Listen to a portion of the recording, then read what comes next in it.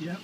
To me, for Alex's gift was making these marginal players, you know, even, even a guy like Carrick. Seen, I've seen games, you know, where, you know, Man for man. I mean, there's one team I remember was when they played Jose Mourinho. Imovich, Cambiasso, guys that were.